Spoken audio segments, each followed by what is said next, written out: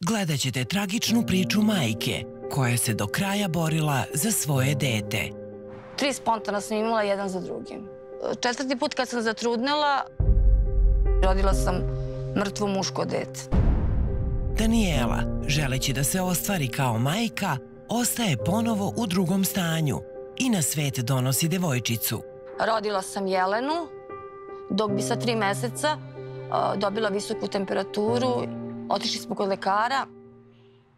E, ne može više da primi tečnosti, ni hrane, ni ništa, jer je ona e, imala karcinom u bešici, koji je kako je ona rasla, tako i on rastao.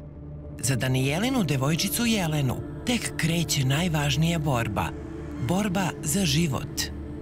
Umesto da je u svom toplom domu, ona dve godine provodi u bolničkoj postelji. O teškom periodu svedoče njeni najbliži. Taca je bila sama sa njom u bolnici sve vreme. Ona je non stop mene dozivala, mama dođi, mama dođi, mama dođi. Bile su i tu sestre koje su bile dobre sa mnom, koje su se puno vezale za Jelenu, koje su mnogo plakale taj dan nisu mogle ni da rade. Godine patnje odrazile su se na Danijelin fizički izgled, a najviše je urušeno njeno zdravlje. U bolnici Atlas, vrhunski eksperti plastične i rekonstruktivne hirurgije menjanjem fizičkog izgleda unapređuju zdravlje i vraćaju samopouzdanje.